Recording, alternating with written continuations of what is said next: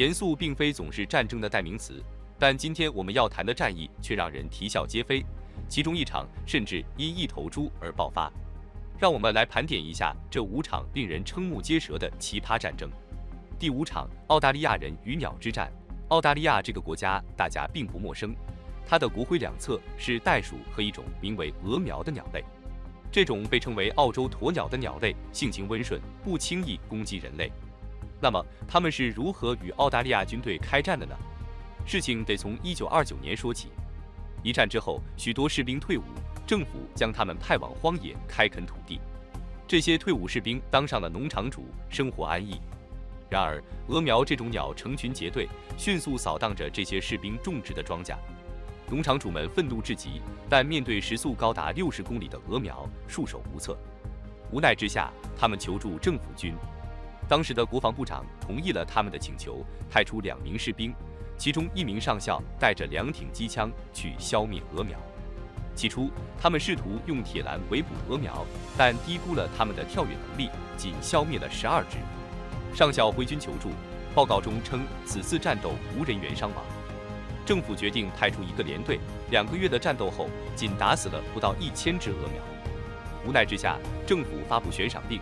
半年时间消灭了几万只鹅苗，控制住了数量。一九八八年，鹅苗数量急剧减少，政府颁布了鹅苗保护法。第四场美英论猪之战，加拿大地区有座名为圣胡安岛的岛屿，当时美英两国对其归属权争执不下。某天，英国农场的一头猪跑到美国农场搞破坏，吃掉了庄稼和土豆。美国农场主莱曼·卡特拉愤怒地将猪射杀并吃掉。英国农场主格雷夫不满，要求赔偿一百美元。卡特拉不愿意，格雷夫索赔无果后，找到了英国当局。英国派出三艘军舰和两千多名士兵包围岛屿，美国也派出四百多名士兵加上十四门火炮。两国对峙，谁也不敢开第一枪。三个月的对峙中，双方不断谩骂挑衅，最终两国高层意识到，为了投猪开战实在愚蠢，赔偿一百美元后停止了这场闹剧。最终受伤的只有那头已被吃进肚子的英国小猪。严肃并非总是战争的代名词，然而有些战役却让人哭笑不得。接下来，我们来盘点五场令人瞠目结舌的奇葩战争。第三场美朝大白杨争夺战，在南北朝鲜分界线的板门店，有一个直径八百米的联合国安全区。此区内，美军有一个检查站，而北面有一个观察哨。中间耸立着一棵三十米高的大白杨树，严重遮挡了视线。于是美军决定砍掉这棵树。两名军官带着五名韩国工人和七名美军士兵来到树下，开始伐树。然而朝鲜军看到这大阵仗，派出十五名士兵和一名军官前来查看。有人声称这棵树是朝鲜领导人金正日亲手种下的。朝鲜军官立即叫停砍伐，但美军不予理会，继续砍树。最终冲突爆发，美军两名军官丧命，其余人员受伤。美军无法接受这一结果，派出五辆满载美韩士兵的卡车，二十七架直升机在空中盘旋，三架 B 五二轰炸机，十几架 F 幺幺幺战机，甚至还有一艘航母赶往东海。四万一千名美军进入三级戒备状态，只为了一颗大白牙。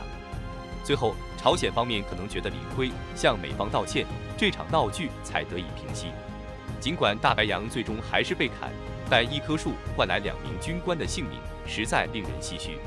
第二场车辆买卖军火战，战争中弹药耗尽怎么办？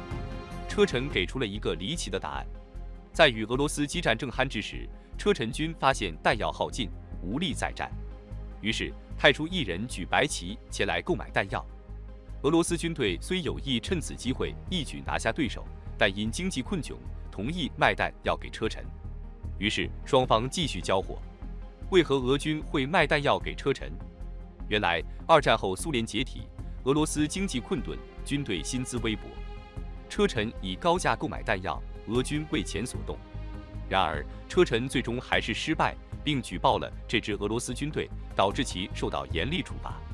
第一场法巴龙虾争夺战，一九六一年，一些法国渔民来到巴西东北部海域捕捞龙虾。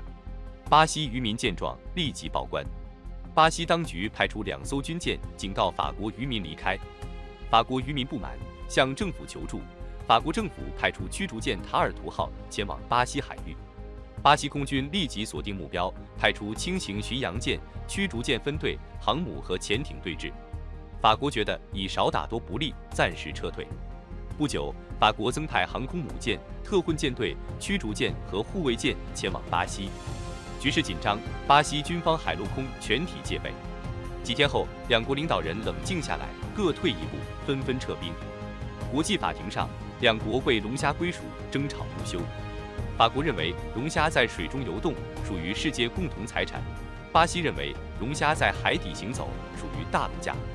最终，一九八二年联合国海洋法公约签订后，争端才告平息。这些无厘头的奇葩战争，多因国与国之间的利益和面子而起。尽管有无伤亡，战争始终残酷。唯有全体世界人民和睦相处，才能实现和平共存。今天的视频就到这里，谢谢观看，我们下期再见。